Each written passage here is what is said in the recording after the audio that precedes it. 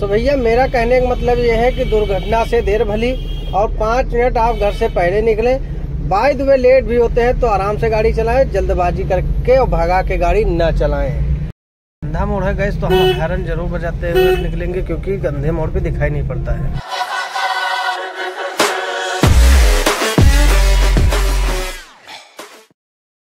Hello मेरे प्यारे भाइयों, बहनों मैं पी के और आप सभी लोगों को और एक नई वीडियो में स्वागत करता हूँ। तो दोस्तों, आज मैं एक नए टॉपिक पे ये वीडियो बनाने जा रहा हूँ, जैसे मैं थोड़ा सा काम से जा रहा हूँ, और वहाँ पे आपको दिखाऊँगा सिंगल रोड पे गाड़ी चलानी, कैसी हाईवे पर कैसे गाड़ी चलानी है। आज पूरी वीडियो में आपको यही चीज़ें बताऊँगा कि किस सिचुएशन में आपको किस गाड़ी तरीके से चलानी तो वीडियो अच्छी लगे तो वीडियो को लाइक करना, चैनल पहली बार चैनल को सब्सक्राइब करना, पूरी वीडियो ज़रूर देगा जिससे कि आपको पूरी नॉलेज मिल सके। तो भाई जैसे कि यहाँ पे आप देख रहे हो थोड़ी सी रोड खराब है तो यहाँ पे आपको बहुत आराम से गाड़ी निकालना है, क्योंकि गड्ढे वगैरह रहते हैं। तो फ़र्स्ट गियर में गाड़ी को निकालना है, और आराम से धीरे धीरे जाने देना है, ज़्यादा आपको भगाना नहीं है। इससे गैस क्या है कि जिससे कि आपकी गाड़ी को किसी प्रकार से कोई प्रॉब्लम ना हो गड्ढे वगैरह होते हैं, ज़्यादा कीचड़ उचड़ रहते तो आपकी गाड़ी गंदी होने के चांस रहते हैं। बारिश समय तो ये दिक्कतें रहती रहती हैं। हालाँकि आपके टायरों पे और सौकर वगैरह, हर एक चीज़ पे बहुत ज़्यादा प्रेशर या लोड पड़ता है, जिसके कारण खराब होने के चांस रहते हैं। बस आपको क्या करना है? आराम से गाड़ी को निकालना है, बहुत ही स्लो तरीके से। ठीक है? गड्ढे वगैरह इस सिचुएशन में।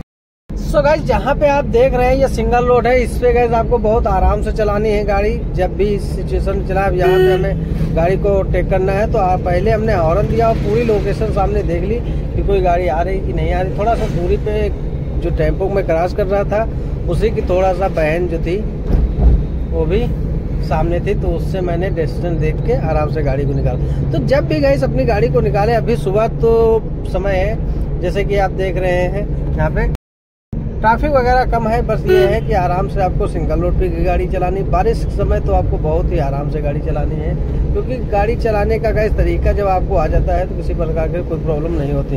अब देख लीजिए ये जो है भाई साहब, कहाँ पे आ रहे हैं? ठीक है? ये थोड़ा सा गलत आ रहे थे बट उनके पास जगह थी तो आराम से आ रहे थे। तो सिंगल रोड पर गाड़ी गैस एक लाइन में चलाना है, जो कि अपनी गाड़ी को हम चला रहे हैं, और आराम से चलाना है, भगा के नहीं चलाना है। सिचुएशन के हिसाब से गाड़ी को ओवरटेक करें, और किसी प्रकार से किसी प्रॉब्लम ना हो, उस तरीके से गाड़ी चलाएँ। तो गाड़ी आराम से चलाएँ, किसी प्रकार से जल्दबाजी ना करें सिंगल रोड पे।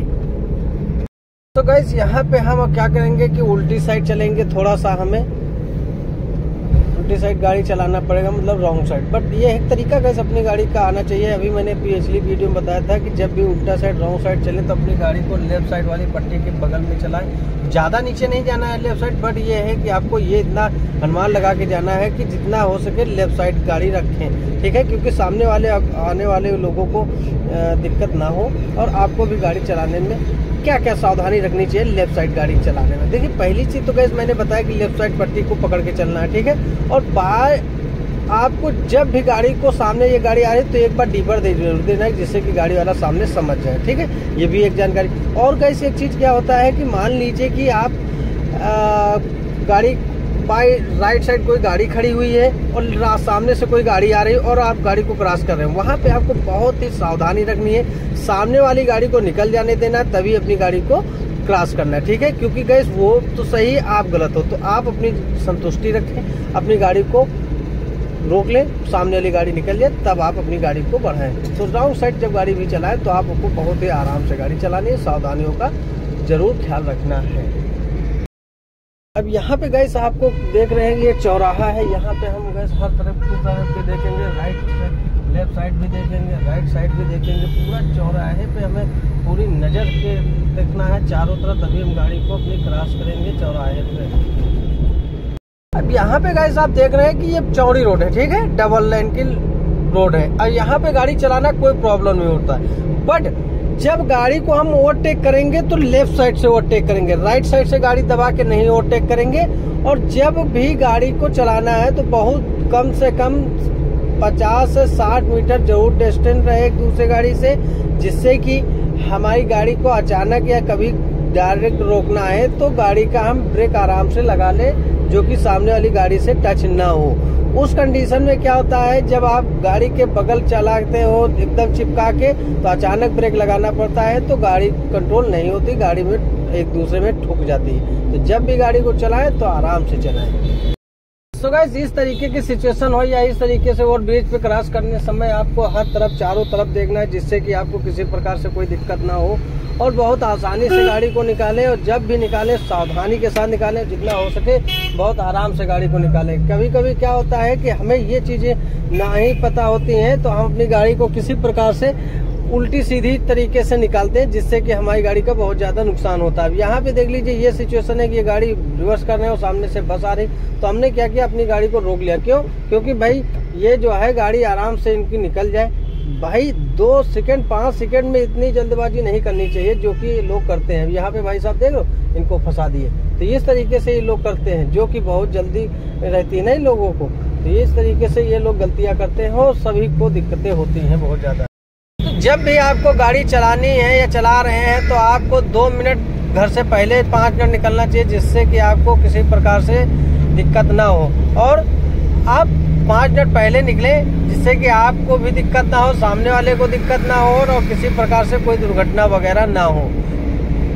क्योंकि कभी कभी क्या होता है कि हम जो पाँच मिनट हमारे होते हैं, उसके कारण हम लेट होते रहते हैं, और हम गाड़ी को ज़्यादा उल्टी सीधी चलाते रहते हैं, कभी लेफ़्ट साइड भगा, कभी राइट साइड और कभी कम भगा रहे कभी ज़्यादा भगा रहे तो जिससे कि गैस गाड़ी पे तो फ़र्क पड़ता ही पड़ता है बट लोगों को बहुत ज़्यादा दिक्कतें होती हैं। और आप भी परेशान होते हैं सुबह सुबह जो आपका माइंड खराब तो पूरा दिन आपका माइंड खराब।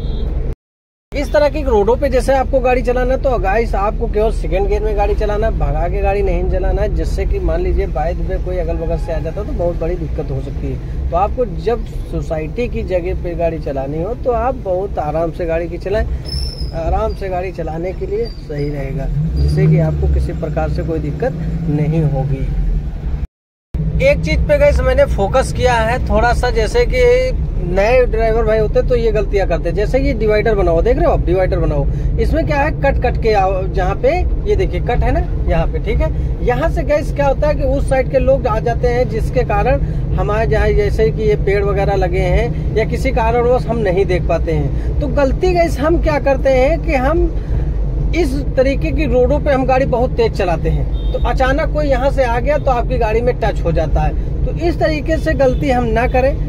जब भी गाड़ी को हम चलाएँ तो सिचुएशन के हिसाब से चलाएँ और आपको ये चीज़ ज़रूर ध्यान में रखना है कि हमें ज़्यादा गाड़ी को भगा के नहीं चलाना है, आराम से गाड़ी को चलाना है। क्योंकि कट कट के जब ये रहता है तो लोग आते जाते रहते हैं, उससे भी आपको बहुत ज़्यादा दिक्कत होती है। तो आप आराम से गाड़ी चलाएँगे, किसी प्रकार से कोई दिक्कत नहीं होगी।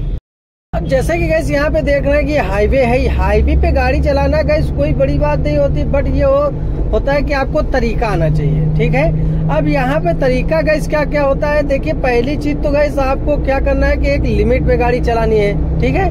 ज़्यादा कभी भगानी नहीं है, ना ज़्यादा तो आपको कम स्पीड में चलानी, ना ज़्यादा स्पीड में चलानी, ठीक है?